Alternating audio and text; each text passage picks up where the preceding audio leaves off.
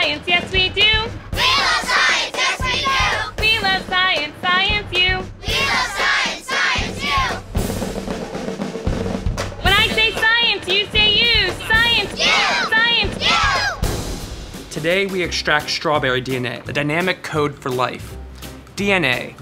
Every living thing has DNA, deoxyribonucleic acid, which, like a recipe book, holds all the instructions for how organisms, like strawberries, create more strawberries. Mm. For this experiment, you'll need 70% isopropyl rubbing alcohol, fresh strawberries, salt, liquid dish soap, a medium-sized mixing bowl, measuring spoons and measuring cup, a small and large beaker or glass, a strainer, a funnel, a Ziploc bag, and a pair of tweezers.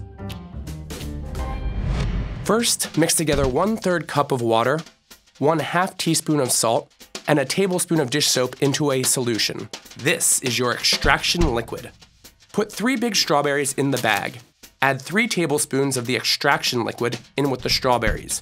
Seal it up, making sure you press out all of the air. Then start mashing. Don't squeeze it too hard. Yeah. Mush, mush, mush. Once mashed into a paste, strain the strawberry mush through a cheesecloth into a cup. It smells like a strawberry shampoo. Next, parents, get chilled rubbing alcohol from the freezer.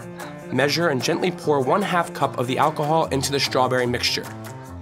Then you watch. It's like it's like separating, doesn't it? Whoa, what's, what's up there? DNA? You see that?